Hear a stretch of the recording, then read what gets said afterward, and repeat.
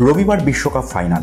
উনিশে নভেম্বর আহমেদাবাদের নরেন্দ্র মোদী স্টেডিয়ামে নামবে ভারত অস্ট্রেলিয়া। চতুর্থবার বিশ্বজয়ের লক্ষ্যে টিম ইন্ডিয়া আর ষষ্ঠবার বিশ্বজয়ের জন্য নামবে অস্ট্রেলিয়া। এক লক্ষ তিরিশ হাজার দর্শক আসনে বিশ্বকাপ ফাইনাল। ক্রিকেট প্রেমীদের আশায় কি জল ঢালবে বৃষ্টি? কি বলছে মতেরায় রবিবারের আবহাওয়া? আহমেদাবাদে দুপুর দুটো থেকে শুরু হবে বিশ্বকাপ ফাইনাল। এই ম্যাচে বৃষ্টির কোনো সম্ভাবনাই নেই। ঝকঝকে আবহাওয়া থাকবে। দিনের বেলায় তাপমাত্রা থাকবে তেত্রিশ ডিগ্রি সেলসিয়াস। রাতের তাপমাত্রা থাকবে পঁচিশ ডিগ্রি।